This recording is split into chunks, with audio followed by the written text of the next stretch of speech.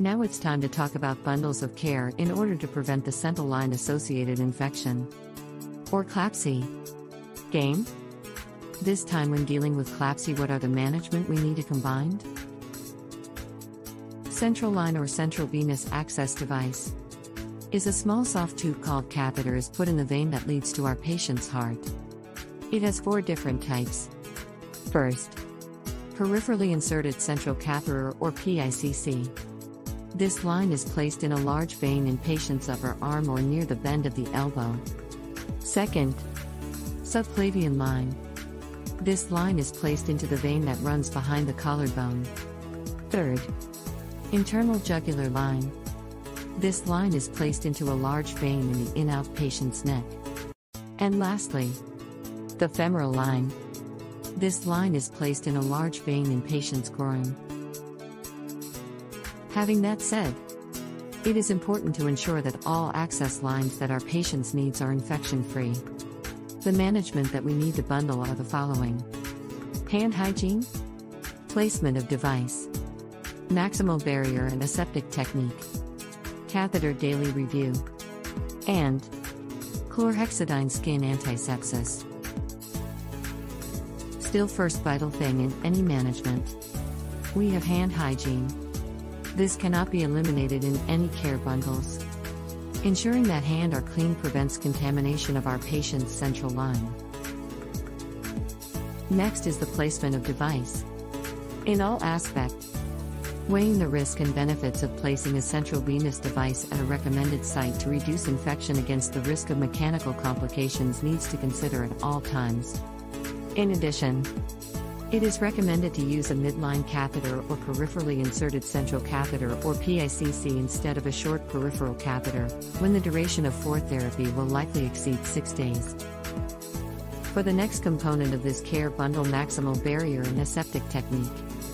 Maintain aseptic technique for the insertion and care of intravascular catheters is highly recommended.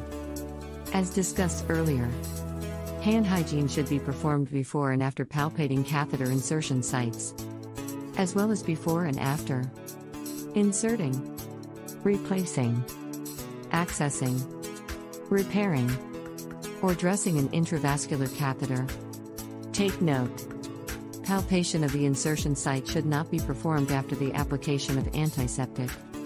According to study, sterile gloves and small drape which is considered as maximal sterile barrier precautions during the insertion of non-tunneled catheters reduce the risk of catheter infection. This practice is cost effective and is consistent with the practice of universal precautions during an invasive procedure. The next part of CLABSI Care Bundle is the catheter daily review. Advantage to use transparent dressing to visually assess the line as frequent as possible. In assessing central line site, Trained personnel WHO have demonstrated competency in the insertion and maintenance of central intravascular catheters is highly recommended.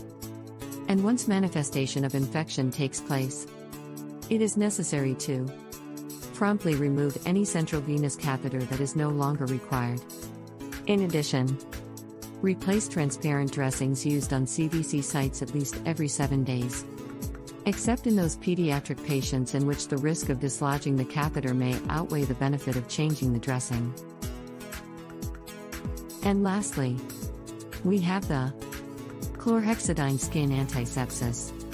The rationale for the use of chlorhexidine antiseptic bathing in place of soap and water bathing relates to the patient's resident skin flora that can enter the bloodstream at the CVC insertion site or the extraluminal surface of the catheter.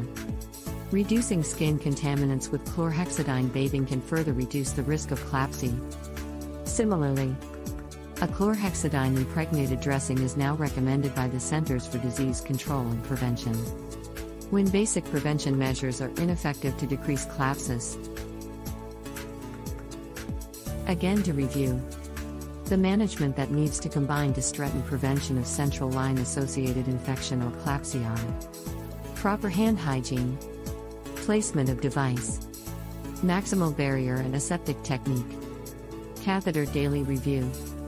And lastly, chlorhexidine skin antisepsis. Again, thank you for listening.